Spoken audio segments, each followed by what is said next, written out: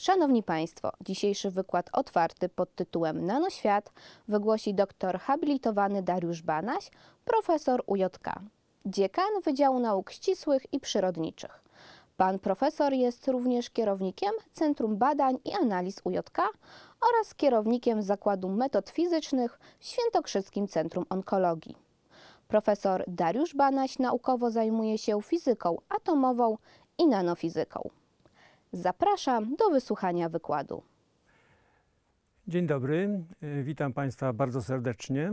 Mm, Dotychczas w ramach ym, Uniwersytetu Otwartego mieli Państwo okazję do wysłuchania dwóch wykładów o podobnej tematyce do mojego dzisiejszego. To był wykład profesora Francesco Giacozy y, o kwarkach, super maluteńkich y, obiektach, z których składają się protony, a później atom. Mieli Państwo również okazję do wysłuchania wykładu profesora Stanisława Mrówczyńskiego, który mówił o wszechświecie i naszym miejscu w tym wszechświecie. Ja dzisiaj chciałbym Państwu opowiedzieć o nanoświecie, czyli świecie cząstek, struktur, obiektów o wielkościach nanometrowych, to znaczy takich, które mają rozmiary od rzędu od y, kilkudziesięciu do kilkusetek y, atomów. Zwykle w codziennym życiu nie zdajemy sobie sprawy z obecności tego świata, natomiast jest on fundamentalny z punktu widzenia funkcjonowania wielu urządzeń, którymi posługujemy się na co dzień, takimi jak na przykład telefony komórkowe, komputery czy monitory wysokiej zdolności rozdzielczej. W moim wykładzie postaram się odpowiedzieć na pytania. Po pierwsze, czy nanometr to dużo? Co nazywamy takimi nanoobiektami? Jak je wytwarzamy? Gdzie je wykorzystujemy? Jak możemy badać nanoobiekty? I na koniec podzielę się z Państwem informacją dotyczącą działalności naszego laboratorium w Instytucie Fizyki Wydziału Nauk Ścisłych i Przyrodniczych, w którym y, wytwarzamy i badamy nanoobiekty. Taką nauką, która zajmuje się wytwarzaniem nanoobiektów i badaniem tych nanoobiektów jest nanotechnologia. Za symboliczny początek nanotechnologii uznaje się y, wykład, który został wygłoszony w 1959 roku przez fizyka, laureata Nagrody Nobla Richarda Feynmana y, na dorocznym spotkaniu y, Amerykańskiego Towarzystwa Astronomicznego.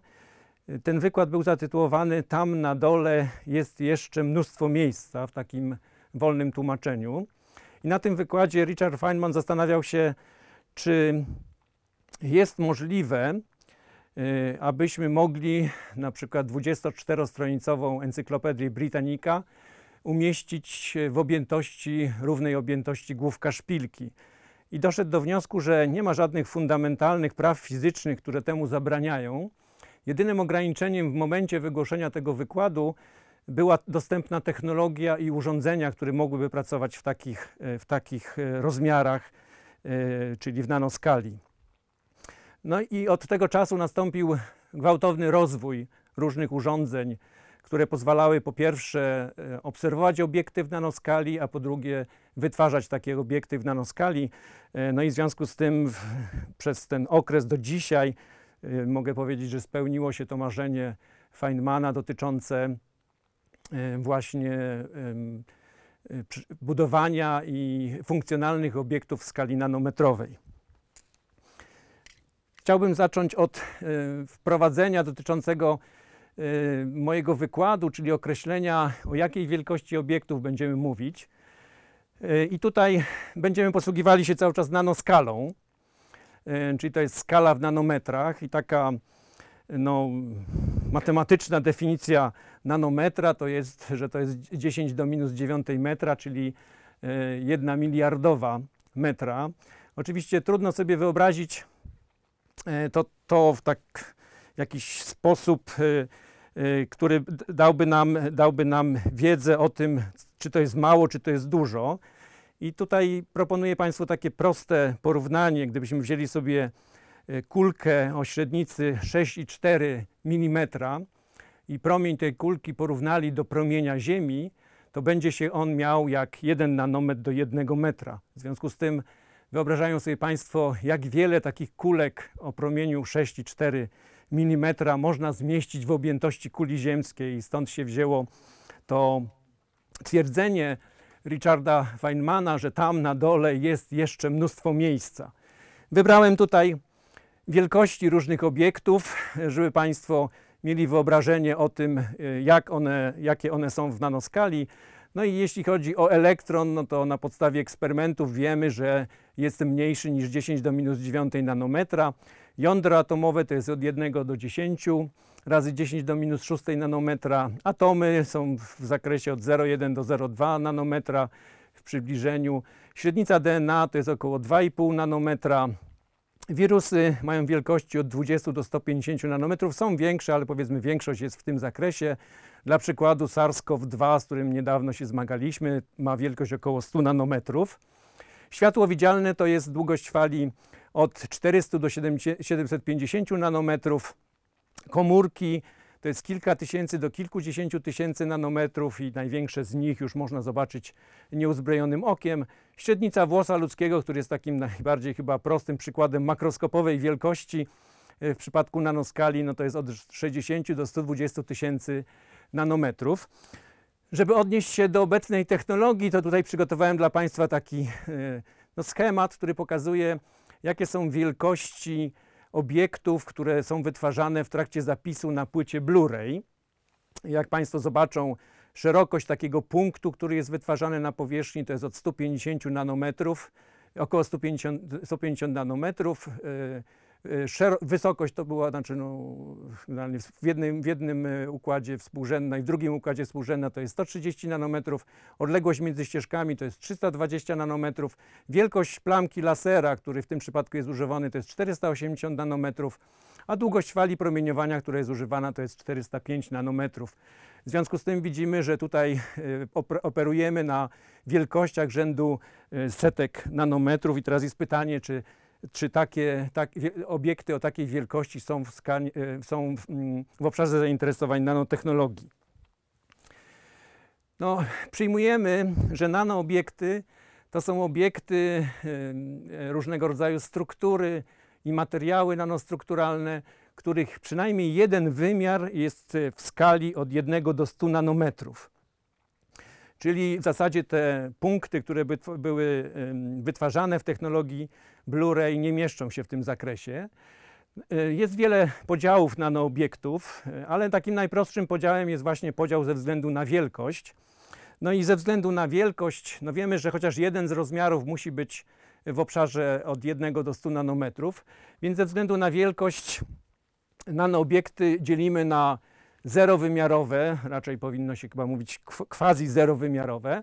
To są takie, które mają trzy wymiary w nanoskali.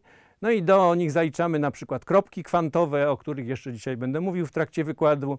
Zaliczamy fulereny, różnego rodzaju nanopory, fulereny na przykład y, y, z węgla.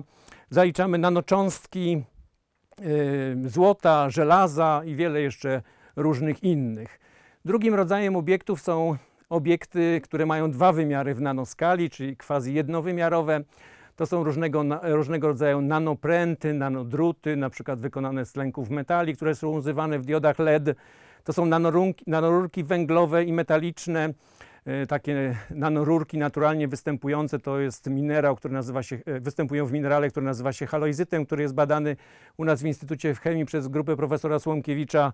Mamy różnego rodzaju nanowłókna polimerowe, nanowłókna, które są wykorzystywane, e, na przykład nanowłókna azbestowe, więc to jest ten zakres, kiedy mamy do czynienia z dwoma wymiarami w nanoskali.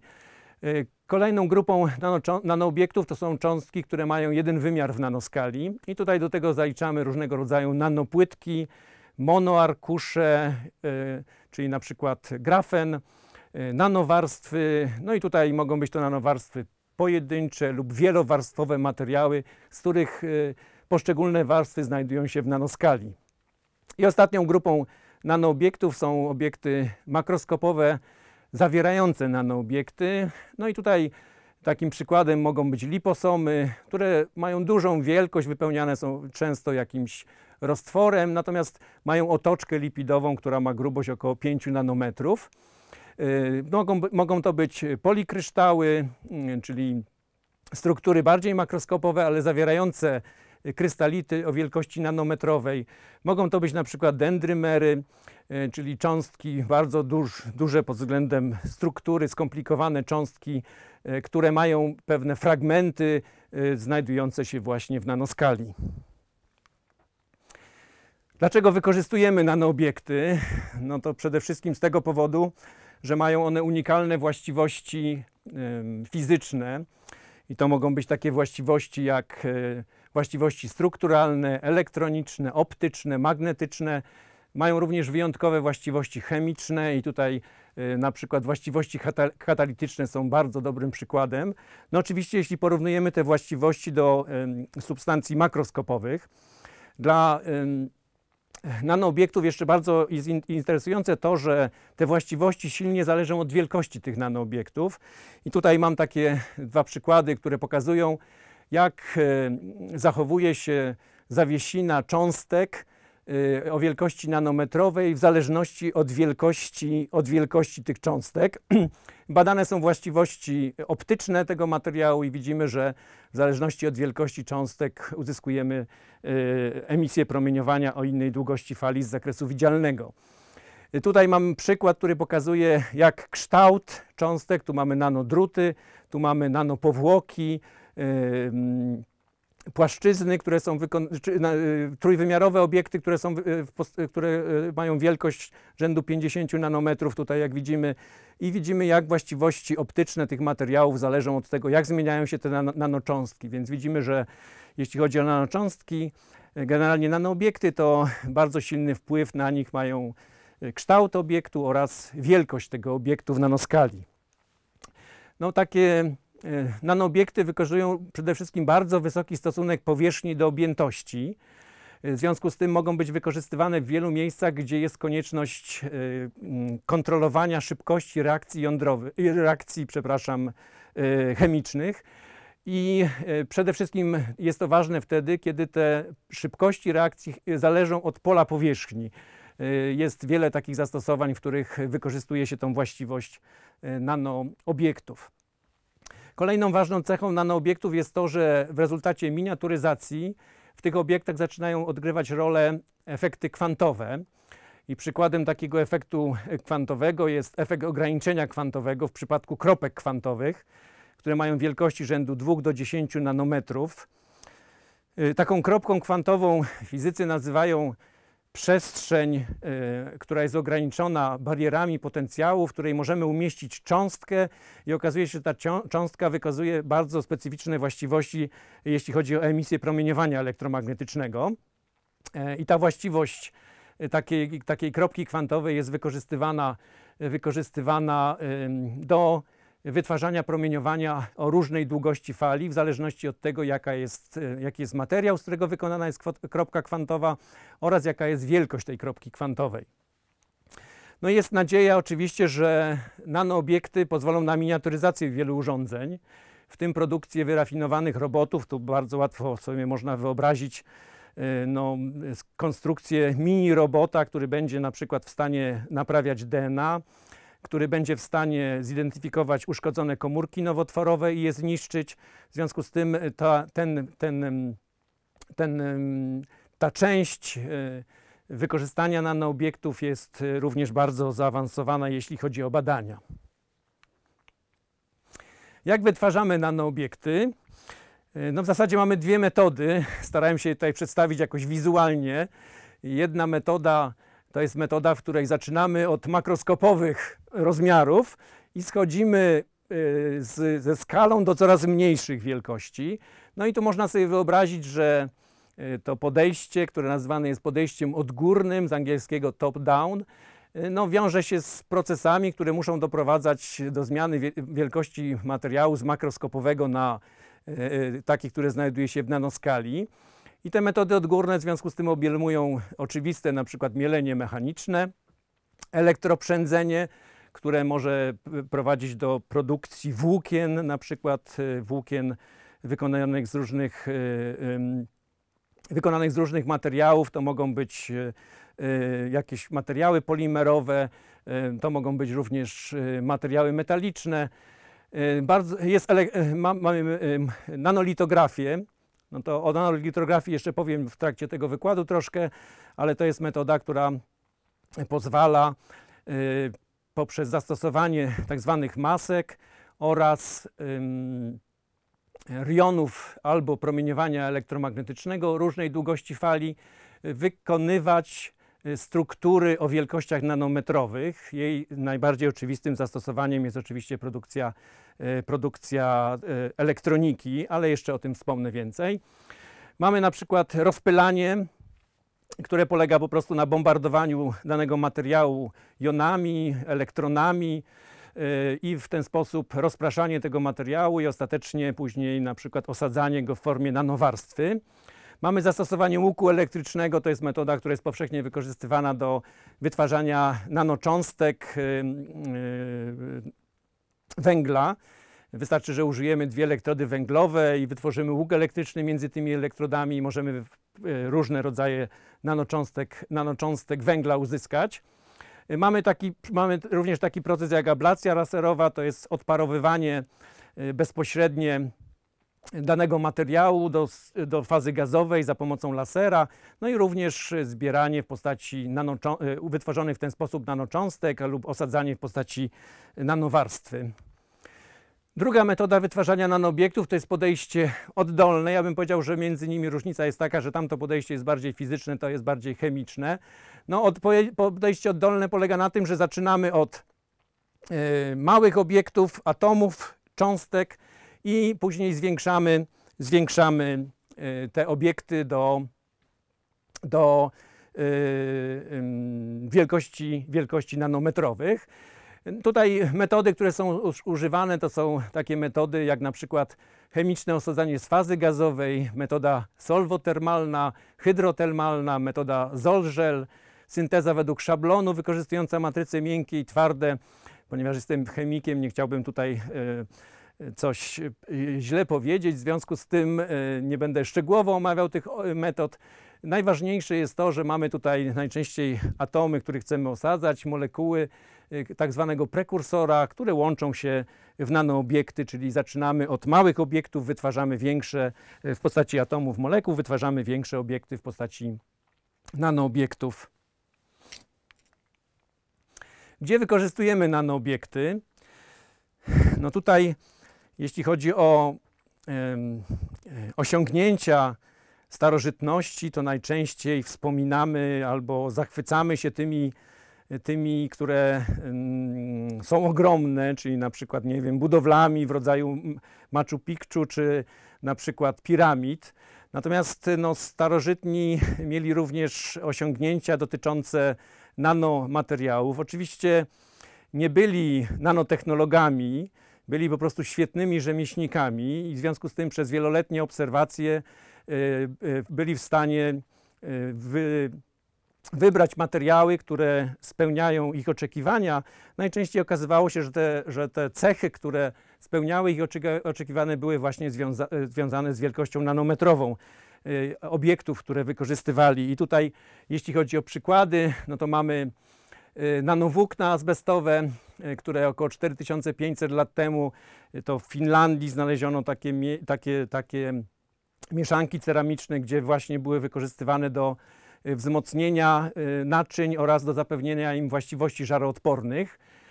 Starożytni Egipcjanie znali y, nanocząstki y, siarczkołowiu, y, które wykorzystywali do, y, w, re, w recepturze do farbowania włosów. Takie próbki znajdują się nadal w, w Luwrze i były badane i rzeczywiście ta hipoteza została potwierdzona. Srebro koloidalne było stosowane jako środek antybakteryjny od starożytnej Grecji. Ale takim najbardziej spektakularnym przykładem, który wszędzie jest pokazywany, to jest tak zwany y, puchar Lukorgosa. I tutaj możemy zobaczyć ten puchar w zależności od tego, jakie jest oświetlenie. Ten puchar albo świeci takim kolorem żółtym, pomarańczowym, albo bardziej czerwonym, rubinowym. Okazuje się, że te własności optyczne tego pucharu są związane z tym, o czym wcześniej Państwu wspominałem, od e, zawartością w szkle, z którego jest wykonany, nanocząstek srebra i żelaza, y, które właśnie y, tutaj w ten sposób obja- objawiają swoje cechy dotyczące wielkości nanometrowych. Gdzie obecnie wykorzystujemy nanoobiekty?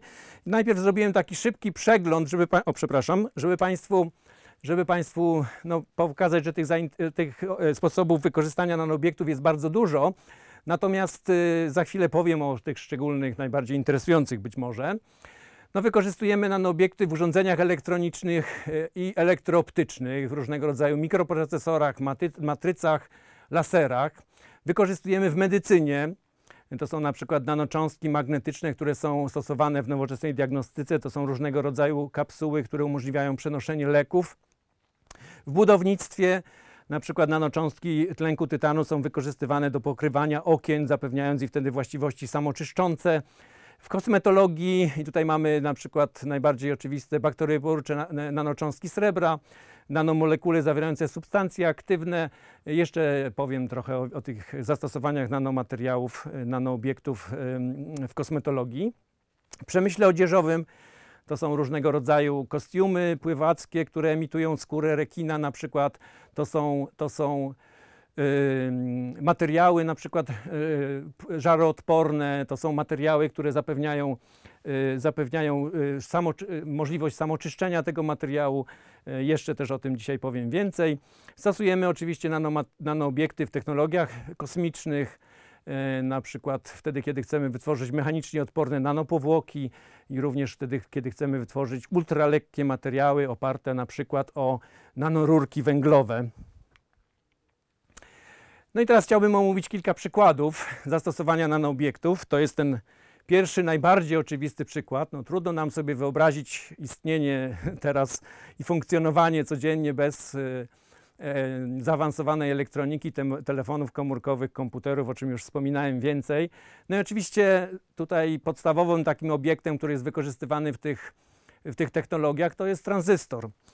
No i y, prawdopodobnie Państwo już czytali, że oczywiście tranzystory teraz osiągają wielkości nanometrowe. No i tutaj mam przykłady najpierw dla tranzystora typu FinFET, który jest nazywany y, tranzystorem z płetwami, czy tranzystorem, em, który zawiera tak, taką konstrukcję, e, konstrukcję e, w postaci, e, w postaci takich dodatkowych jakby tutaj materiałów, które zwiększają, e, polepszają właściwości tego tranzystora. E, e, Tranzystor, tutaj mamy obrazy takich tranzystorów firmy Intel i firmy Samsung, które pokazują, że jak wygląda taki e, tranzystor wykonany w technologii, w technologii e, 14 nanometrów. No widzimy, że tutaj e, no, kluczowe, kluczowe wielkości tych obiektów e, są już e, e, no, w zakresie nanoskali. E, No, zresztą tutaj produkcja bardziej zaawansowanych tranzystorów polowych była możliwa e, dzięki zmianie konstrukcji tych tranzystorów i tutaj mamy różne inne sposoby e, konstrukcji, które umożliwiły dalszą miniaturyzację tych tranzystorów. I mamy tutaj przykład, jak ta technologia będzie zmieniała się z czasem. E, W tej chwili powszechne są e, procesory w technologii 14 nanometrów, 10 nanometrów, 7 nanometrów również już jest powszechnie wykorzystywana. No i zaczynamy schodzić coraz bardziej w nanoskali. Teraz pojawia się pytanie, czy tutaj mamy jakieś ograniczenie. Aha, chciałbym jeszcze powiedzieć, że oczywiście dla Państwa, którzy się interesują, że to, że mamy y, mm, procesor w, y, w skali 5 nanometrów, y, to, znaczy, to nie znaczy, że on ma wielkość 5 nanometrów. To oznacza, że został wykonany w technologii litograficznej 5 nanometrów. Y, To należy wyobrazić sobie tak jak y, piksele na ekranie, czyli to, co jak DPI, prawda? Czyli piksel może mieć wielkość, nie wiem, y, mikrometr na mikrometr, ale jak chcemy z niego zrobić literę, która będzie widoczna, no to musimy ileś tych pikseli zebrać i w rezultacie oczywiście sama litera będzie miała zdecydowanie większą wielkość. W związku z tym to, co tutaj mówi, ta, ta, ta liczba, która tutaj się pojawia, to mówi nam o tym, jak o technologii, która została wykorzystana do produkcji tego procesora, a nie o wielkości samego procesora, tranzystora, przepraszam. Oczywiście, jak będziemy tutaj coraz niżej zjeżdżać, to okaże się, że no, pojawia się ograniczenie. ograniczenie jest bardzo proste, związane z ilością atomów, które można umieścić w nanometrze.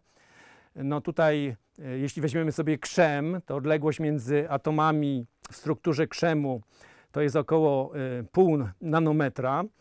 E, W związku z tym e, w takim jednym nanometrze możemy może trzy atomy krzemu zmieścić. W związku z tym na przykład w technologii 7, 7 nanometrów to będziemy mieli już około, około 20 atomów. W związku z tym w tych strukturach, które tutaj y, będziemy zmniejszać, zaczną się pojawiać elementy składające się z pojedynczych atomów. I oczywiście, no, żeby wytworzyć obiekt, który będzie miał jakieś właściwości, musimy mieć chociaż strukturę jednego atomu. W związku z tym pojawia się naturalne ograniczenie i tutaj w związku z tym e, istotną rolę zaczynają roz, odgrywać rozwoje takich technologii jak komputery kwantowe e, czy chociażby komputery optyczne.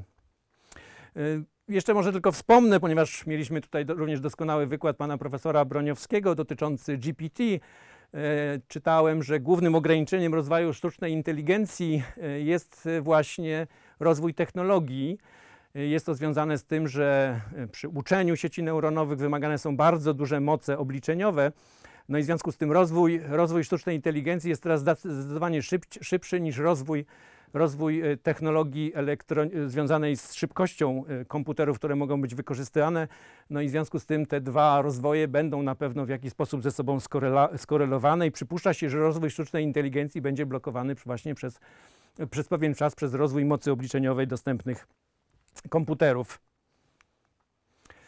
Innym przykładem, z którym mamy do czynienia teraz na co dzień, wybierając się do sklepu, są y, telewizory, które są wykonane w technologii, jak Państwo zobaczą może na reklamach, to jest technologia QLED, OLED, QDEL OLED y, lub Nano LED. To jest technologia, która wykorzystuje y, kropki kwantowe, więc te kropki kwantowe to nie jest jakiś kompletnie taki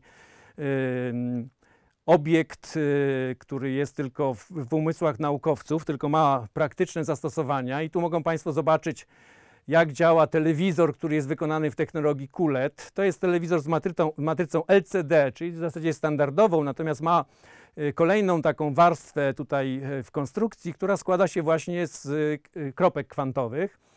Te kropki kwantowe oświetlane są niebieskim promieniowaniem z zwykłych diod LED.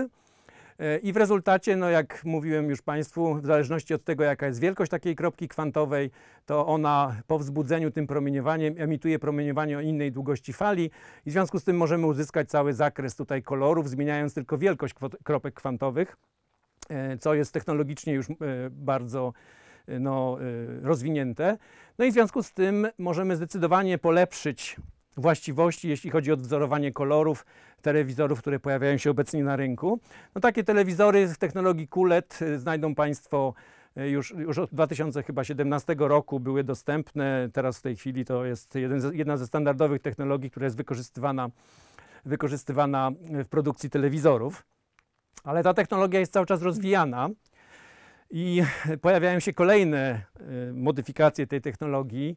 Pierwszą taką modyfikacją, która też już od 2022 roku jest dostępna w sklepach, to jest technologia QLED, QDLED, OLED, przepraszam, która czasami jest y, nazywana po prostu OLED, ale w tej technologii mamy do czynienia z matrycą e, diod organicznych, e, które, która jest wspomagana przez matrycę wykonaną z kropek kwantowych. Czyli technologia jest dość podobna jak w przypadku tych, tej poprzedniej technologii QLED po prostu. Y, Mamy oświetlane kropki kwantowe za pomocą, za pomocą światła y, z, ze źródła y, LED. No i później one, one no, produkują nam tutaj kolor w zależności od tego, jaka jest, jaka jest wielkość tych kropek kwantowych, jaki jest, z jakiego materiału są wykonane. No i to wspomaga, wspomaga matrycę, która, która emituje y, promieniowanie. Ta technologia jest rozwijana y, wkrótce, albo już no, w 2023 roku, niedawno była premiera, pojawią się y, telewizory, które będą wykorzystywały y, tak zwane mikroledy. Y, To jest technologia, w której nie jest potrzebne już to oświetlenie, y, podświetlenie mm, za pomocą promieniowania y, to jest y, mm, takiego wstecz, y, z tyłu to podświetlenie w telewizorach się pojawia, tylko będą diody LED które będą miały wielkości w skali mikrometrów i każda dioda LED będzie indywidualnie emitowała światło. Dzięki temu konstrukcja telewizora będzie bardzo prosta. Niestety jednak ta technologia tych diod le- e, mikro LED jest dość droga, w związku z tym pojawiły się pierwsze telewizory, ale ceny są jeszcze na razie astronomiczne. Natomiast już w rozwoju jest technologia wykorzystująca y, tylko i wyłącznie kropki kwantowe emitujące promieniowanie. To jest nano-LED i wtedy będziemy mieli w zasadzie też niepotrzebne jest podświetlenie z tyłu, tylko będziemy mieli do czynienia z kropkami kwantowymi emitującymi promieniowanie. Wiemy jak mogą emitować y, y, Długość emitowanego promieniowania będzie zależała od tego, jaką mamy wielkość i materiał, z których wykonane są kropki kwantowe. Ta technologia została niedawno zaprezentowana przez firmę Nanosys. Podejrzewa się w 2025 roku pojawi się na rynku. Przede wszystkim zapewni bardzo dużą elektrooszczędność, jeśli chodzi o energię, a po drugie no, parametry, y, e, y, para, y, y, po drugie będzie, będzie tania, bo uprości konstrukcję ko- telewizora, a po trzecie będzie miała parametry porównywalne z tymi najnowocześniejszymi teraz telewizorami dostępnymi na rynku. Gdzie jeszcze wykorzystujemy nanoobiekty? No już wspominałem o tym do celowego dostarczania leków. Yy, No i tutaj mamy te obiekty, o których wspomniałem, czyli na przykład liposomy, yy, czy na przykład yy, dendrymery, cząstki, które są duże pod względem budowy, ale możemy do nich dołączać różnego rodzaju ró- inne cząstki i w ten sposób mogą być transportowane w organizmie do wybranego miejsca. To mogą być również różnego rodzaju nanocząstki w rodzaju na przykład nanocząstek złota, nanocząstek żelaza. Takie eksperymenty już się prowadzić. To mogą być e, nanocząstki polimerów. E, Dzięki, dzięki przyłączeniu albo e, wbudowaniu w konfigurację tej cząstki jakiegoś, jakiejś molekuły, która, która ma być e, transportowana, e, można, można celowo dostarczać leki do wybranego miejsca organizmu. No, wspomniałem wcześniej, że oczywiście pracujemy cały czas nad e, nanorobotami, czyli tymi, które na przykład będą rozpoznawały nowotworowe komórki ten, i mogły je niszczyć. Inne zastosowanie to jest filtrowanie z wykorzystaniem nanoporów i tutaj może zastosowanie trywialne, albo, ale bardzo ważne dla wielu społeczeństw, to jest filtrowanie słonej wody y, za pomocą, za pomocą nanoporów, y, co oczywiście zapewnia dostęp do tej wody w wielu miejscach, gdzie on jest zdecydowanie utrudniony. No i mamy już bardzo wyrafinowane technologie. Ostatnio taka technologia została zaprezentowana przez Oxford Nanopore Technologies i to jest y, wykorzystanie nanoporów do sekwencjonowania DNA. Y, Tutaj DNA jest rozdzielane na fragmenty. y, Sygnał elektryczny pochodzący od każdej z zasad, które tutaj się pojawiają, przechodząc przez ten nanopor, może być rejestrowany i w ten sposób można rozróżniać, z jakimi e, fragmentami DNA mamy do czynienia. Inne takie bardziej, bardziej aplikacyjne zastosowania to są na przykład kosmetologia, czyli dostępne nam na co dzień. No tutaj nanocząstki znalazły bardzo szerokie zastosowanie. Jest wiele dostępnych cząstek, które y, zmieniają właściwości leków i, i umożliwiają, umożliwiają y, modyfikację standardowego zachowania się danego kosmetyku. Na przykład mogą ułatwiać wchłanianie substancji aktywnej, pozwalają na stosowanie wyższych stężeń substancji bez jakichś skutków alergicznych czy podrażnień, e, po- podrażnień w przypadku skóry. Zapewniają kontrolowane uwa- uwalnianie substancji aktywnej, czyli na przykład substancja dostaje się w dane miejsce, e, dane miejsce, gdzie ma być aplikowana, po- powiedzmy otoczka później, która tutaj jest takiej cząstki się rozpuszcza i dopiero uwalniana jest substancja. Zwiększa, zwiększa się rozpuszczalność substancji, które są z reguły trudno rozpuszczalne, zapobiegają interakcjom między związkami właśnie przez takie selektywne dostarczanie związków i powiedzmy de- decydowanie o tym, w jakim czasie one będą uwalniane. Nanoobiekty są e, wykorzystywane powszechnie również e, w przemyśle odzieżowym. E, Tutaj mamy no, przykład, jakie to są te, te możliwości, które dają nam nan- nanoobiekty w przemyśle odzieżowym. One mogą zwiększyć wytrzymałość materiałów, ich trwałość, e, odporność na płomień. No, na przykład y, y, różnego rodzaju włókna mają taką cechę, na przykład włókna które były stosowane azbestowe, ale inne również rodzaje włókien, które oczywiście zapewniają tam odporność na, na, na ogień, zapewniają plamoodporność, modyfikowalny kolor. Na rynku teraz pojawiły się na przykład garnitury, których y, kolor zmienia się w zależności od oświetlenia. Zapewniają nam y, antyseptyczność, zdolność samonaprawy, ochronę przed promieniowaniem UV, wodoodporność, właściwości zapachowe, y, modyfikowanie właściwości zapachowych. W związku z tym no, to, to, to, to zastosowanie jest ogromne i w związku z tym prawdopodobnie każdy z nas obecnie ma na sobie jakiś e, element ubioru, w którym do produkcji zostały wykorzystane nanocząstki, nanoobiekty. Jak badamy nanoobiekty? Yy, No, oczywiście można sobie łatwo wyobrazić, że jak chcemy badać obiekty o tak małych rozmiarach, no to musimy używać równie substel- subtelnych narzędzi. No i tutaj, jeśli chodzi o nanofizykę, którą ja się zajmuję, to wykorzystujemy są różnego rodzaju zderzenia atomowe z udziałem fotonów, elektronów jonów. E, Mogą to być na przykład metody spektroskopii rentgenowskiej, elektronowej, masowej, metody y, skaningowej transmisyjnej mikroskopii elektronowej, e, jak również mikroskop sił atomowych i skaningowy mikroskop tunelowy. No te dwa, szczególnie te dwa, może trzy ostatnie urządzenia, to są urządzenia, które miały niesamowity wpływ na rozwój nanotechnologii. E, niek- y, y, Przede wszystkim z tego powodu, że zapewniły nam obrazowanie struktur e, z rozdzielczością mniejszą niż nanometry. W związku z tym tutaj mają Państwo przykład, e, na przykład, e, przykład powierzchni krzemu, w której możemy rozróżnić poszczególne atomy i tu na przykład jakiś brakujący atom widzimy. To jest e, obrazowanie za pomocą e, e, mikroskopu sił atomowych.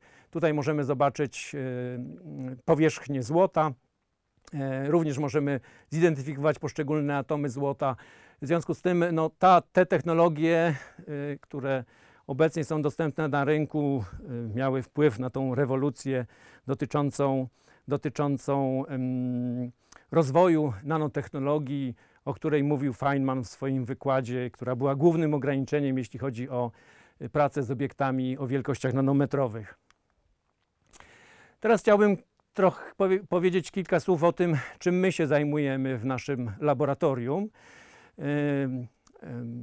Ja reprezentuję laboratorium, reprezentuję Zakład Fizyki Atomowej i Nanofizyki Instytutu Fizyki y, Wydziału Nauk Ścisłych i Przyrodniczych i tutaj mamy zdjęcie naszego laboratorium, y, w którym y, mamy po pierwsze narzędzia do wytwarzania nanostruktur, a po drugie mamy cały zestaw e, aparatury, który służy nam do e, badania właściwości tych nanostruktur oraz obrazowania tych nanostruktur.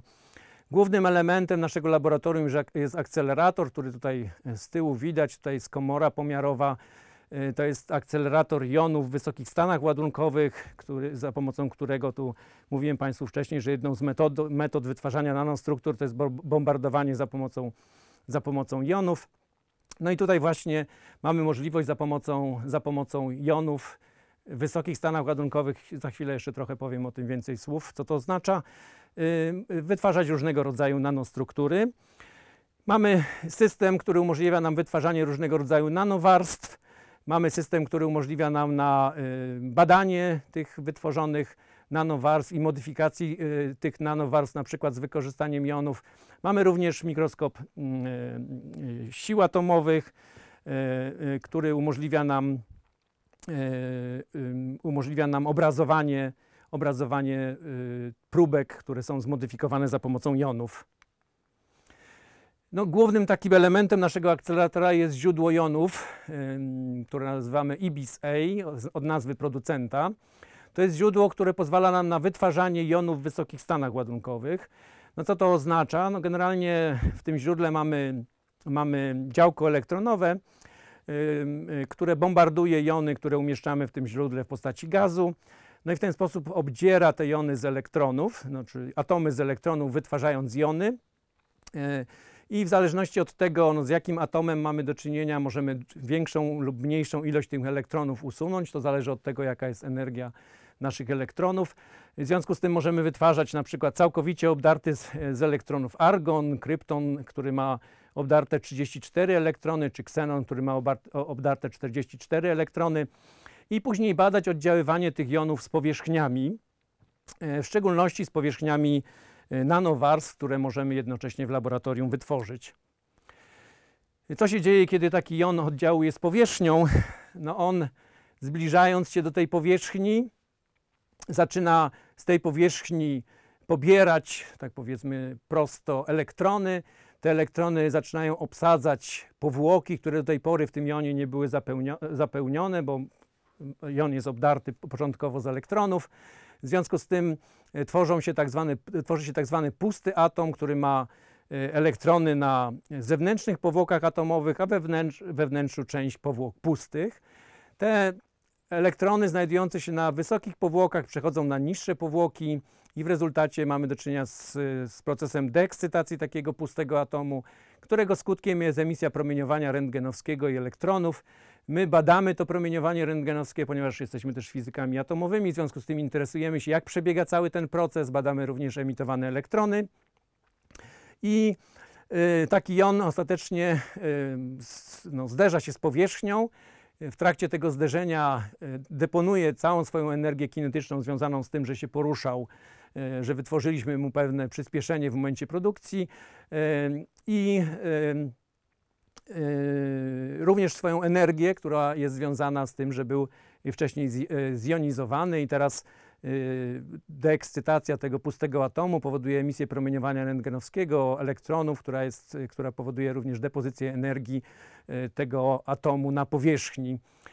To powoduje gwałtowny skok temperatury e, tego miejsca, w którym nastąpiło uderzenie jonu, który jest związany e, z rozpyraniem tego materiału, o czym też wspominałem wcześniej jako metoda wytwarzania nanostruktur, a, oraz wytwarzanie nanostruktur w postaci przykład wgłębień, jak zaraz Państwu pokażę, to są bardzo wyraźne struktury lub na przykład w zależności od tego, jaki jest stan ładunkowy jonu, jaka jest jego energia, nanostruktur wystających ponad powierzchnię, czyli takich pagórków. Oczywiście jon jest ostatecznie implantowany w tym materiale. Nas y, ze względu na małe y, liczby jonów, które możemy wytworzyć w tych wysokich stanach ładunkowych, czasy, które musimy uzyskać, które, ilości jonów, które mu, musielibyśmy uzyskać w przypadku standardowej implantacji są zdecydowanie większe. W związku z tym interesujemy się głównie tymi nanostrukturami, które powstają tutaj na powierzchni. Tutaj chciałem Państwu pokazać taki Przykład, jak wygląda właśnie takie uderzenie jonu. To jest uderzenie jonu i co się dzieje wtedy na powierzchni. Mamy gwałtowny wzrost temperatury, no i wytworzenie nanostruktury. Tutaj mamy pojedyncze atomy, w związku z tym mogą Państwo zobaczyć, że powstaje nanostruktura, która ma wielkości rzędu dziesiątek, setek y, atomów. W związku z tym jest w obszarze, y, w obszarze nanoskali. I tutaj też chciałbym zwrócić Państwu uwagę na czasy są to bardzo krótkie czasy oddziaływania, w związku z tym y, ten bardzo krótki czas oddziaływania i w związku z tym związana bardzo szybka depozycja energii powoduje, że temperatury, które tutaj są osiągane w obszarze zderzenia są rzędu dziesiątek tysięcy kelwinów. No i to powoduje oczywiście rozproszenie i stopienie tego materiału. Ten materiał czasami gromadzi się w pobliżu tej zmiany. Y, no i my interesujemy się w, w naszym zakładzie, jakie są skutki wprowadzenia takich modyfikacji w materiale, e, jak, jak to zmienia jego właściwości. Wiadomo, że zmienia jego powierzchnię właściwo, e, właściwą, ale zmienia również, zmienia również inne jego właściwości. możemy to badać dzięki temu, że mamy aparaturę do analizy powierzchni i struktury nanowarstw. E, no i tutaj mamy, tu jest właśnie fragment tej aparatury, to jest E, e, mikroskop e, z próbką skanującą. Tutaj mamy na przykład spektrometr fotoelektronów. Tutaj mamy urządzenie, które pozwala nam na wytwarzanie nanowarstw oraz w kontrolowanym procesie. W związku z tym te wszystkie urządzenia są ze sobą podłączone w warunkach wysokiej próżni. W związku z tym możemy y, wyprodukować nanowarstwę, możemy ją naświetlić jonami i możemy później zbadać, jakie są konsekwencje dla y, właściwości tej powierzchni y, związane z pojawieniem się na niej nanostruktur o określonym, o określonym kształcie. Mamy również tutaj techniki takie jak standardowe, jak fluorescencja rentgenowska, dzięki którym możemy badać skład pierwiastkowy danego materiału, na przykład przed naświetleniem, przygotowaniem próbki. Możemy badać y, strukturę y, fazową danego materiału z wykorzystaniem dyfrakcji rentgenowskiej, również niskokątowej dyfrakcji rentgenowskiej, w której możemy badać strukturę nanowarstw. Y, Mamy metodę reflektometrii rentgenowskiej, która jest metodą typowo przeznaczoną do badania nanowarstw. Umożliwia nam określenie grubości, gęstości nanowarstwy i nie tylko jednej, ale wielu y, i również chropowatości zarówno tego interfejsu, na którym zde- zdeponowana jest warstwa, jak i chropowatości poszczególnych nanowarstw, które zostały na tym interfejsie umieszczone. Tutaj mamy przykłady obrazów uzyskane za pomocą naszego mikroskopu z sondą skanującą. Y, To jest y, przykład powierzchni złota. Y, Ta powierzchnia nie była modyfikowana. Zaraz pokażę Państwu, jak wygląda taka zmodyfikowana jonami.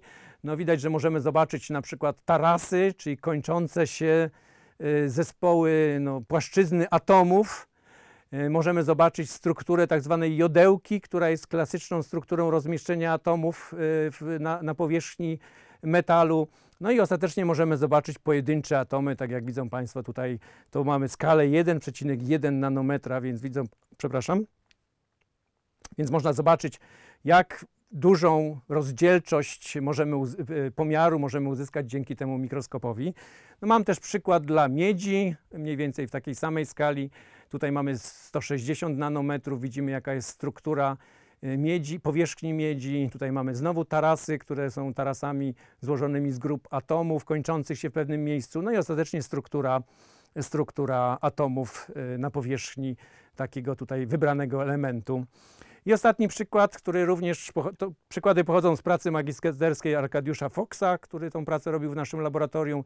Tutaj mamy obrazowanie e, grafenu, który był zdeponowany na powierzchni i mogliśmy dzięki temu za pomocą naszego mikroskopu badać jego właściwości. Określał tutaj e, magistrant, jakie są odległości między atomami, jakie są, jakie są ustawienia tych atomów e, e, w, tej strukturze. No i tutaj jest 1,3 nanometra, widzimy skalę, a tutaj mamy już y, y, 7,2 angstrema, czyli y, 0,7 nanometra i widzimy z jak wysoką zdolnością rozdzielczą możemy obserwować atomy. Tutaj wybrałem przykład nanostruktur, które możemy wytwarzać w naszym laboratorium.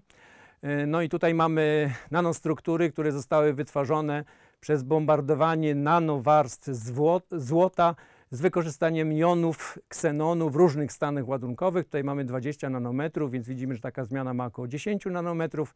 Tutaj mamy 20 nanometrów, czyli widzimy, że wielkość tej modyfikacji zależy od tego, jaki jest stan ładunkowy jonu. Yy, Tutaj w pracy, która, yy, która została opublikowana na początku tego roku, wyjaśniliśmy ten mechanizm zależności yy, wielkości y, tych y, y, modyfikacji, czyli nanoobiektów od e, energii potencjalnej i energii kinetycznej. W innej pracy badaliśmy, jakie są, y, jak, jak, jakie powstają struktury na przykład na powierzchni tytanu. I tu mogą Państwo zobaczyć, że w tym przypadku mamy do czynienia ze wzgórkami, które oczywiście powodują istotną zmianę właściwości powierzchni, w związku z tym mogą być wykorzystane na przykład w kontrolowaniu różnego rodzaju procesów chemicznych. Tutaj mamy wyniki, które niedawno uzyskaliśmy, są tematem pracy y, doktorskiej. Y, I tutaj jest przykładowa zmiana wywołana przez taki jon. Widzimy, że ma postać trójkąta, jest to związane ze strukturą powierzchni i obok znajduje się materiał, który, który został usunięty z tej, z tej, z tej tutaj powierzchni y, wskutek y, właśnie tego roztopienia i gwałtownego sch- schłodzenia się jonu. Badamy tutaj między innymi, jakie są, jaka jest struktura tej wytworzonej modyfikacji. Tutaj mamy przykłady no, złota, jak się już Państwo orientują, bo widzimy tą strukturę jodełkową, bombardowanego jonami i oczywistym taką zmianą właściwości tej powierzchni, to jest zma- zmiana y, powierzchni właściwej, no, która ma wpływ na to, jak taka powierzchnia będzie zachowywała się w różnych procesach. Tutaj mamy tę, tą samą strukturę, znaczy jedną z takich struktur też e, złota, e, która jest, e, którą widzimy w większym, większym, większej skali. I tutaj możemy ob- obserwować, tutaj Państwo mają zaznaczoną pewne krzywy, prawda, jakie są, jakie są em, ułożenia atomów, jakie są kąty rozmieszczenia tych atomów, jakie pojawiają się modyfikacje związane, jak, jaka jest struktura takiej modyfikacji, czy to, co powstało na powierzchni, to ma strukturę e, krystaliczną, czy ma strukturę amorficzną, no i tak dalej. Yy, Tak jak powiedziałem, oprócz takiego klasycznego obrazowania wykorzystujemy również różne metody rentgenowskie, no i taką najbardziej przydatną w tym przypadku nanowarstw yy, jest, yy, w przypadku nanowarstw jest metoda yy, reflektometrii rentgenowskiej. I tutaj mamy przykład wykonanych pomiarów za pomocą reflektometrii rentgenowskiej. Yy, To zostało opublikowane w pracy w 2019 roku. Pokazaliśmy, jak yy, chropowatość takiej warstwy 25-nanometrowego, 50 i 75-nanometrowego tytanu zdeponowanego na różnych podłożach zależy od tego, jaka jest, jakie właśnie jest to podłoże. E, Tutaj badaliśmy na przykład, e, jaka jest struktura tej nanowarstwy. Pod, jeśli badamy pa- promieniowanie, puścimy na nanowarstwę pod niskimi kątami, to możemy badać e, strukturę tej nanowarstwy. e, No i w rezultacie dla różnych kątów możemy uzyskać, jak, e, jaka, jest, jaka jest struktura fazowa danego materiału w ramach tej nanowarstwy. Takie badanie prowadzimy z wykorzystaniem dyfraktometru, którego mamy w laboratorium, ale mamy również współpracę z wieloma ośrodkami i tutaj można zobaczyć pomiary, które zostały przeprowadzone dla e, tego tytanu, podobne jak tutaj. Zadanie było troszkę inne, jeśli chodzi o, o badanie e, tytanu, e, który, które zostały wykonane na synchrotronie Eletra w Trieście. I tutaj badaliśmy, jak, jaka jest modyfikacja właściwości, takich jak na przykład gęstość czy chropowatość powierzchni po bombardowaniu tej powierzchni jonami w wysokich stanach ładunkowych. I tutaj mamy przykładowy wykres z pracy, która została e, niedawno opublikowana, który pokazuje, jak e, zmienia się, zmieniają się chropowatości poszczególnych nanowarstw, które mieliśmy zdeponowane e, na krzemie. Dziękuję bardzo za uwagę.